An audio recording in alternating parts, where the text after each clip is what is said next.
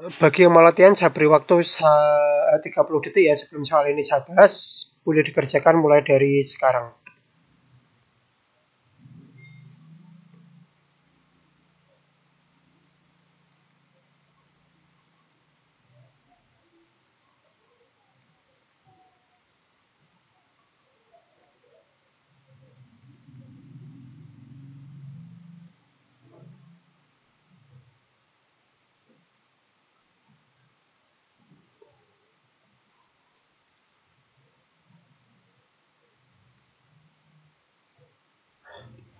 Ini kuncinya ya, yang skornya 4. Nah, kalau menurut saya di sini kan eh, saya bacakan dulu ya, sebagai pemilik toko kelontong terbesar di kota Anda, Anda merasa kompetitor Anda semakin banyak.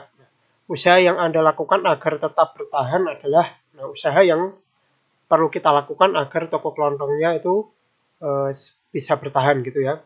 Di sini ya, ini pendapat saya ya, itu skor tertingginya itu adalah yang B yaitu melakukan survei pasar untuk mengetahui minat pembeli. Jadi uh, kita itu harus memastikan uh, pembeli itu menginginkan apa gitu ya. Jadi kalau misalkan pembeli itu mengingin, menginginkan tiga ini ya, A, C, D misalkan menginginkan diskon, kan bisa kita terapkan. Kalau menginginkan kualitas produknya ditingkatkan, nah itu bisa kita lakukan juga. Kalau menginginkan uh, pelayanan yang ramah, itu bisa juga kita lakukan gitu kan. Jadi kalau misalkan minta tiga-tiganya, nah itu kan bisa juga. Gitu kan. Jadi eh, yang skornya tertinggi adalah melakukan survei pasar. Nah, kalau misalkan bukan ketiga-tiganya, tapi ada eh, keinginan lain dari pembeli, nah itu kan bisa kita pertimbangkan. Gitu. Jadi yang skornya tertinggi adalah yang B, ya melakukan survei pasar. Nah, eh,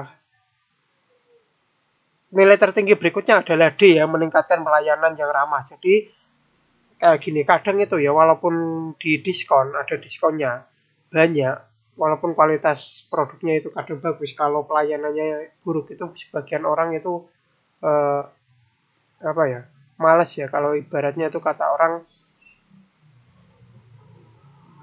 apa namanya daripada dimarah-marahi atau di apa namanya diberikan pelayanan yang buruk lebih baik nyari yang mahal. Kadang ada yang kayak gitu, ya.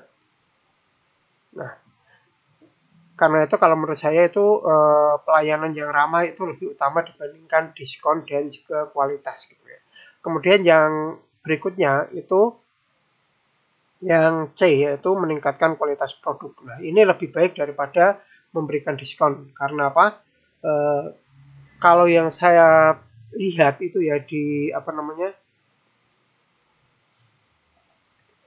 di uh, simulasi cat PKN itu ya yang simulasi itu. Saya uh, saya membuat kesimpulan bahwa dalam suatu perusahaan ya kita itu mengusahakan apa namanya ini kita mengusahakan solusi yang tidak berdampak buruk bagi pendapatan gitu ya. Mengutamakan itu dulu. Jadi kalau ini memberikan diskon itu kan mungkin pendapatannya akan semakin berkurang gitu ya. Kalau punya ada solusi lain kita akan gunakan solusi lain gitu. Nah, tapi kalau solusi lain itu gagal baru kita pakai diskon tidak apa-apa apa namanya tidak apa-apa kalau misalkan pendapat eh, keuntungannya kecil gitu. Kalau misalkan sudah terpaksa ya itu gitu ya.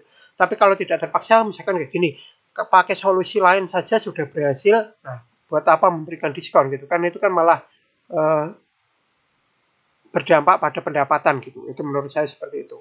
Kurang lebih demikian ya uh, penjelasan saya. Kalau misalkan teman-teman punya pendapat lain itu boleh diskusi lah gitu ya.